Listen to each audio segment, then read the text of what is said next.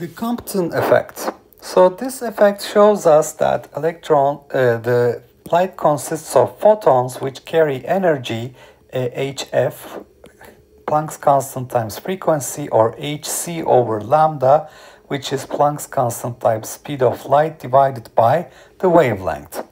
And they carry momentum which is related to their energy by E is equal to pc. So the momentum is E over c, which is h over lambda. So how did Compton reach this conclusion?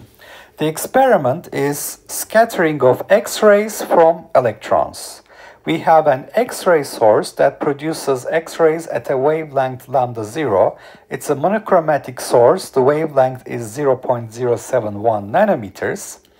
These rays are collimated by uh, passing through this uh, slit and they are incident on a carbon target then we see these scattered X-rays at an angle theta with respect to the incoming uh, wave propagation direction. And these rays are incident on a crystal spectrometer. We know the uh, interplanar separation uh, for uh, planes parallel to the surface and uh, we can measure this angle alpha to determine the wavelength lambda prime, uh, which produces our uh, constructive interference. So 2d sine alpha is equal to m lambda prime. So the crystal spectrometer determines the wavelength of the incident radiation by measuring the angle alpha. And then we have this uh, ray uh, that is scattered from the crystal spectrometer incident on the ionization chamber, which measures intensity of the incoming beam and it has a current that is it produces a current that is proportional to the intensity. So therefore we can find uh, the wavelength and the intensity of the corresponding beam uh, independently and we can plot intensity as a function of wavelength and we see that depending on this angle theta, we get a different result.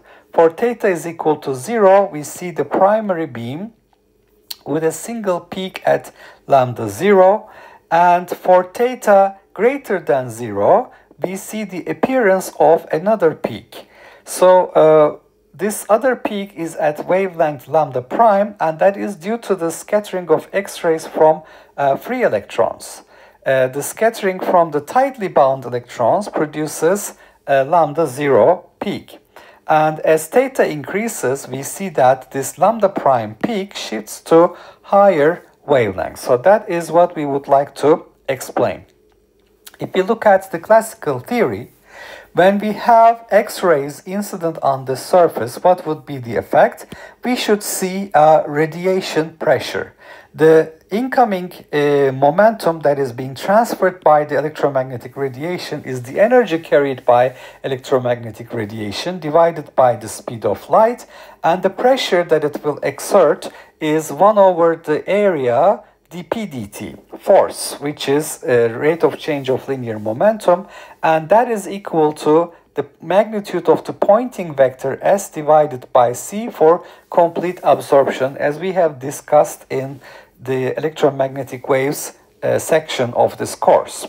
So as a result of this radiation pressure being exerted on the electrons, the electrons should accelerate in the propagation direction of the electromagnetic waves.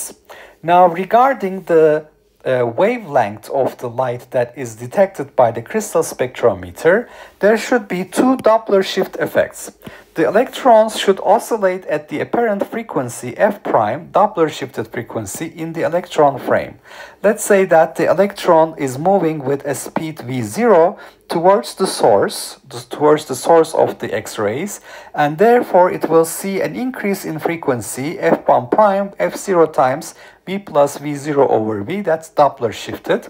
Now these moving electrons uh, will also produce uh, radiation uh, they will re-radiate and now we have the electron acting as the source of radiation. So we will see another Doppler shift when the, the this electron is approaching the detector f0 times v over v minus vs Now, the speed of the electron V0 and Vs do not have a single value. We have a distribution of electrons moving at different speeds. So therefore, what do we expect? We, we should expect to see intensity versus wavelength at different angles showing a distribution of these Doppler shifted values. So Doppler shifted frequencies will translate to uh, changes in the detected uh, wavelength.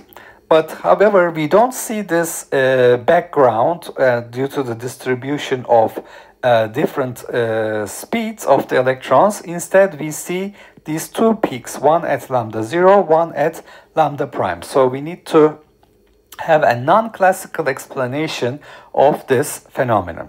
So in summary, Compton effect is an experiment uh, that is performed by using an X-ray source uh, producing waves incident on a carbon target where the intensity of the scattered uh, wavelength is measured, uh, intensity is measured as a function of wavelength and uh, we vary the angle theta with respect to the incoming ray direction and we determine the evolution of intensity uh, uh, with uh, angle. So we see that as the angle increases from 0 to 90 to 135, the appearance of another peak uh, is seen at lambda prime and this lambda prime shifts to higher wavelengths as the angle is increased.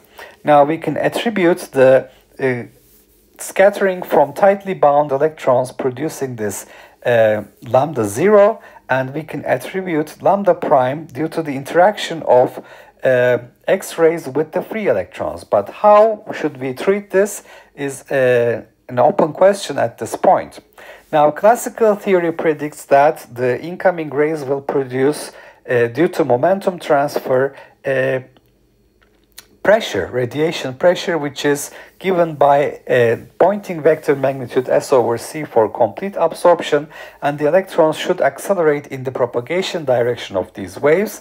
The electrons, as an observer of the incoming radiation and as a source of the uh, re-radiation, will have Doppler shifted frequencies. Therefore, we should see intensity versus wavelength at different angles, giving us a distribution of Doppler shifted values, which is a reflection of the fact that electrons will be moving at different speeds. So this classical uh, prediction is actually not correct. According to the experiment, we have the appearance of these uh, two peaks.